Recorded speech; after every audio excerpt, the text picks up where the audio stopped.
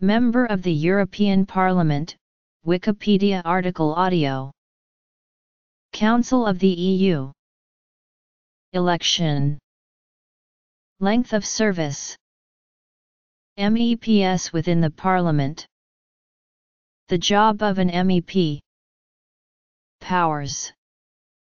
Payment and privileges. Salary. Financial interests. Immunities. Individual members. Members' experience. Dual mandates. Demographics. Election of non-nationals. Observers. Social media accounts. Presidency. A member of the European Parliament is a person who has been elected to serve as a popular representative in the European Parliament. When the European Parliament first met in 1952, its members were directly appointed by the governments of member states from among those already sitting in their own national parliaments. Since 1979, however, MEPs have been elected by direct universal suffrage. Each member state establishes its own method for electing MEPs and in some states this has changed over time but the system chosen must be a form of proportional representation. Some member states elect their MEPs to represent a single national constituency, other states apportion seats to sub-national regions for election. For a list of current MEPs, see Members of the European Parliament 2014-2019.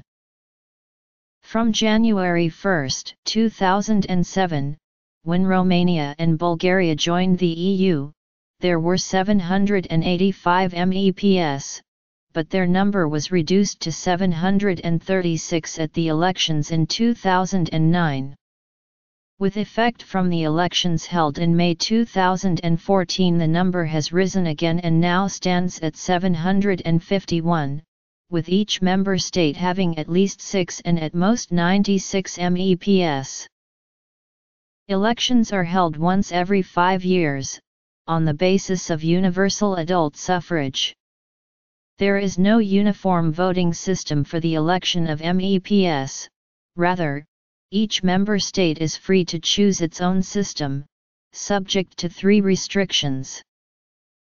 The allocation of seats to each member state is based on the principle of degressive proportionality, so that, while the size of the population of each nation is taken into account, smaller states elect more MEPs than would be strictly justified by their populations alone. As the number of MEPs granted to each member state has arisen from treaty negotiations, there is no precise formula for the apportionment of seats. No change in this configuration can occur without the unanimous consent of all national governments. The most recent elections to the European Parliament were the European elections of 2014, held in May of that year. They were the largest simultaneous transnational elections ever held anywhere in the world, since nearly 500 million citizens were eligible to vote. The European Parliament has a high turnover of members compared to some national parliaments. For instance, after the 2004 elections, the majority of elected members had not been members in the prior parliamentary session, though that could largely be put down to the recent enlargement. Only one has served continuously since the first elections in 1979. MEPs are organized into seven different cross-nationality political groups, except the 15 non-attached members known as non-inscrits. The two largest groups are the European People's Party and the Socialists and Democrats. These two groups have dominated the parliament for much of its life, continuously holding between 50 and 70 percent of the seats together. No single group has ever held a majority in parliament. As a result of being broad alliances of national parties, European groups parties are very decentralized and hence have more in common with parties in federal states like Germany or the United States than unitary states like the majority of the EU states. Although, the European groups, between 2004 and 2009, were actually more cohesive than their US counterparts. Aside from working through their groups, individual members are also guaranteed a number of individual powers and rights within the Parliament. Every month except August the Parliament meets in Strasbourg for a four-day plenary session, six times a year it meets for two days each in Brussels, where the Parliament's committees, political groups, and other organs also mainly meet. The obligation to spend one week a month in Strasbourg was imposed on Parliament by the member state governments at the Edinburgh Summit in 1992. In addition, an MEP may be part of an international delegation and have meetings with outside delegations coming to Brussels or Strasbourg or visiting committees or parliaments of external countries or regions. There are also a number of international parliaments that members participate in such as the ACP-EU Joint Parliamentary Assembly, the Euro-Mediterranean Parliamentary Assembly, the Euro-Latin American Parliamentary Assembly and lately, the EUROMD Parliamentary Assembly. This work entails full annual parliamentary meetings and more frequent multilateral committee meetings. Members also make up a portion of European election observation missions. Also, there is the need to keep in touch with constituents in the home state. Most MEPs return to their constituencies on a Thursday evening to spend the Friday and often weekends dealing with individual constituents, local organizations, local and national politicians, businesses, trade unions, local councils, and so on. Four weeks without parliamentary meetings set aside during the year and the parliamentary recess can also be used for constituency duties. MEPs may employ staff to help them, typically three or four split between their constituency office and office in Parliament. Because MEPs sit in a parliament with powers over fewer high-profile subjects than national parliaments their public profile in their home state is typically lower than that of national parliamentarians, at least those of the latter who are ministers or opposition spokesmen. Some MEPs choose to make their family home in or near Brussels rather than in their home state. Since the ratification and entry into force of the Treaty of Lisbon the adoption of nearly all European Union laws requires the approval of both the European Parliament and the Council of the European Union. Under the CO decision procedure, they each have up to three readings of legislative proposals put forward by the European Commission in which they can each amend the proposal, but must ultimately approve a text in identical terms for it to be passed. This amounts to bicameralism. MEPs also elect the President of the Commission, on the basis of a proposal by the European Council and, following public hearings of the candidates, approve the appointment of the Commission as a whole. The Parliament may also dismiss the Commission in a vote of no confidence. MEPs may table parliamentary questions for question time or for a written answer. International agreements entered into by the European Union must be approved by the European Parliament, as must the accession of new member state to the Union.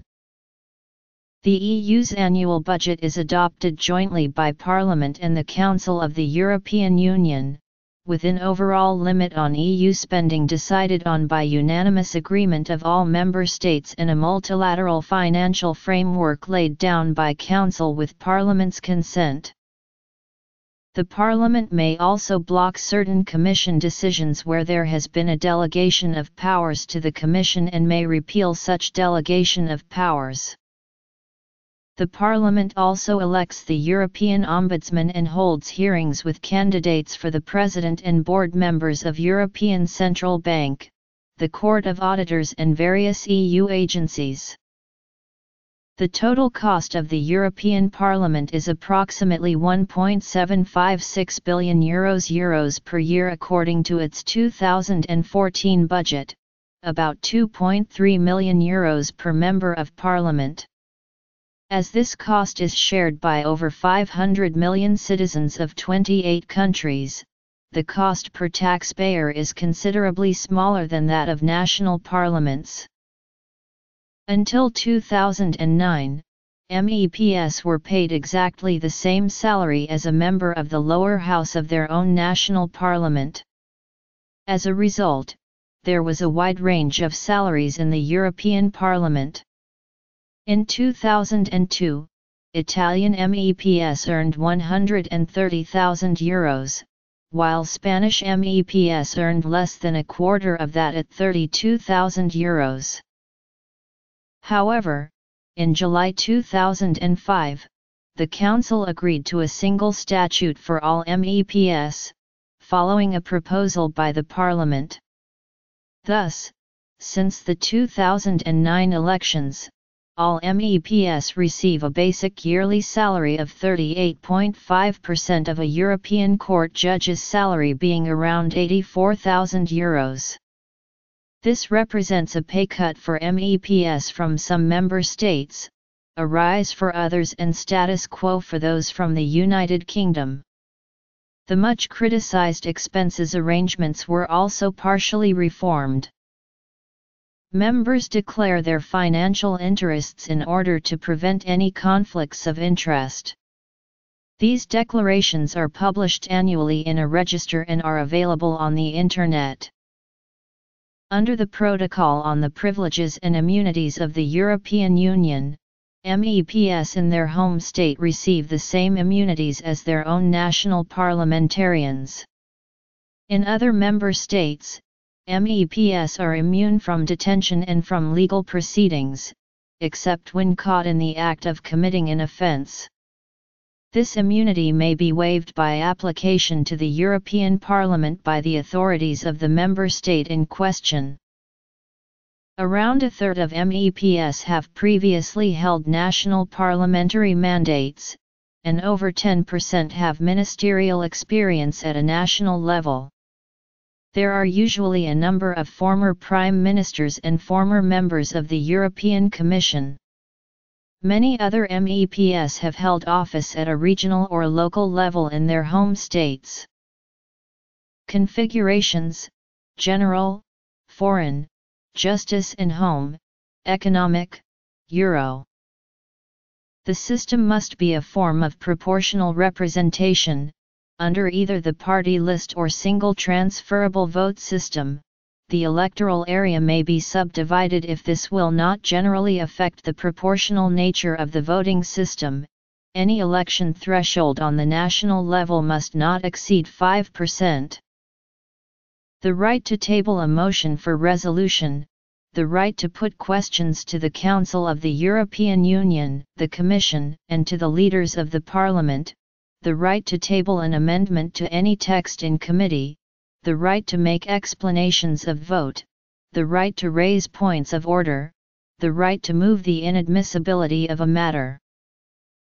Current MEPs also include former judges, trade union leaders, media personalities, actors, soldiers, singers, athletes, and political activists. Many outgoing MEPs move into other political office. Several presidents, prime ministers, or deputy prime ministers of member states are former MEPs, including former President of France Nicolas Sarkozy, former Deputy PM of the United Kingdom Nick Clegg, former Prime Minister of Italy Silvio Berlusconi, Danish Prime Minister Helle Thorning-Schmidt, Belgian PM Elio Di Rupo.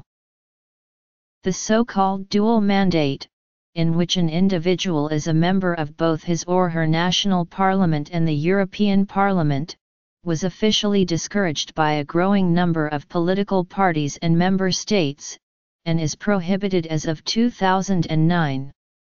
In the 2004-2009 Parliament, a small number of members still held a dual mandate. Notably, Ian Paisley and John Hume once held triple mandates as MEP, MP in the House of Commons, and MLA in the Northern Ireland Assembly simultaneously. The proportion of MEPs elected in 2009 who were female was about 34%, a higher percentage than most national parliaments. This figure varies considerably among the various national delegations, however. Of UK members, for instance, approaching half of the Labour MEPs are female. The figure for the parliament elected in 2009 is 35%. The oldest member is Jean-Marie Le Pen, aged 89, born in 1928, the founder and former member of the National Front. The youngest is Anders Primdahl Vistisen of ECR, aged 30, born in 1987, who joined the parliament in 2014. European citizens are eligible for election in the member state where they reside, they do not have to be a national of that state. The following citizens have been elected in a state other than their native country.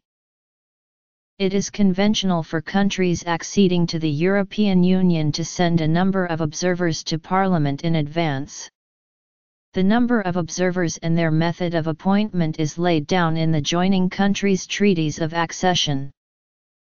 Observers may attend debates and take part by invitation, but they may not vote or exercise other official duties.